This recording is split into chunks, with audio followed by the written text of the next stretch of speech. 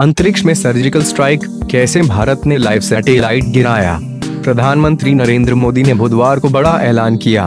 उन्होंने देश को संबोधित किया। प्रधानमंत्री नरेंद्र मोदी ने अपने संबोधन में कहा कि भारत अंतरिक्ष के क्षेत्र में भी सुपर पावर बन गया है। एक लाइव सैटेलाइट पर अटैक किया गया। भारत ने एक लाइव सैटेलाइट को मार्च गिराने में सफलता हासिल की है।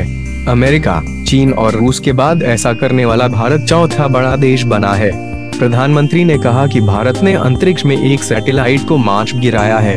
पीएम बोले कि भारत ने इस मिशन को मिशन शक्ति का नाम दिया है। आज भारत अंतरिक्ष में महाशक्ति बन गया है। पीएम ने बताया कि लियो सैटेलाइट को मार्च गिराना एक पूर्व निर्धारित लक्ष्य था। इस मिशन को सिर्फ़ तीन मिनट में पूरा किया गया है। प्रधानमंत्री ने अपने संबोधन में कहा कि भारत के वैज्ञानिकों ने इस मिशन के सभी लक्ष्यों को हासिल किया है। इसके लिए भारत में निर्मित सैटेलाइट का इस्तेमाल किया गया था। पीएम ने कहा कि आज हमारे पास पर्याप्त संख्या में सैटेलाइट हैं जो कृषि, रक्षा, सुरक्षा, संचार समेत कई क्षेत्रों में सहायता मिल रही है। इससे पहले पीएम ने ट्वीट करके कहा था, मेरे प्यारे देशवासियों, आज सवेरे लगभग ग्यारह बजकर पैंतालीस मिनट से 12 बजे बजे मैं एक महत्वपूर्ण संदेश लेकर आपके बीच आऊँगा।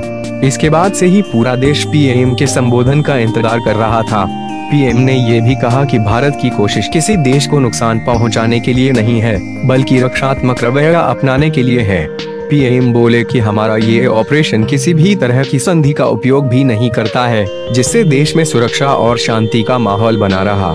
प्रधानमंत्री ने कहा कि हमारी कोशिश शांति बनाए रखना है, न कि युद्ध का माहौल बनाना।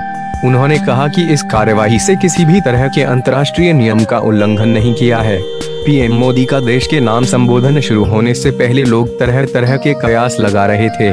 सोशल मीडिया पर कई लोग कह रहे थे कि मोदी आतंकवाद के खिलाफ बड़ी कार्रवाई का ऐलान कर सकते हैं तो कोई कह रहा था, मोदी नोटबंदी जैसे फैसले ले सकते हैं। आगे पढ़ें और क्या क्या उम्मीदें लोगों ने मोदी से की थी। एक व्यक्ति ने लिखा था कि पीएम कश्मीर से जुड़े धारा 370 और 35 से पर फैसले ले सकते हैं। एक व्यक्ति ने मोदी के ट्वीट पर रिप्लाई करते हुए लिखा था कि क्या विपक्ष को डरा रहे हैं? वहीं, ट्विटर यूज़र और ने लिखा था कि मोदी जी, प्लीज़ रिटायरमेंट घोषित मत करना। एक अन्य व्यक्ति ने लिखा था कि मोदी जी, लोगों के वोट करने को लेकर कोई बड़ा फैसला लेने वाले हैं। कई लोगों ने यह भी कयास लगाया था कि क्या पीएम एक बार फिर नोटबंदी जैसा कोई फैसला लेने वाले हैं। आउट साहब नब्बे ने लिखा प्लीज़ नोटबंदी फिर से मत करना।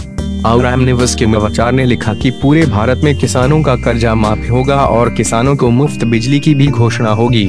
वहीं, कई लोग यह भी कयास लगा रहे हैं कि पीएम मोदी आतंकी दाऊद इब्राहिम या मसूद अजहर के खिलाफ किसी बड़ी कार्रवाई का ऐलान कर सकते हैं। सोशल मीडिया पर लोग ये भी चर्चा करने लगे थे कि आचार संहिता लागू होने की वजह से कोई नीतिगत फैसला नहीं लिया जा सकता है। हालाँकि मोदी ने तमाम कयासों से इतर एक नई घोषणा की।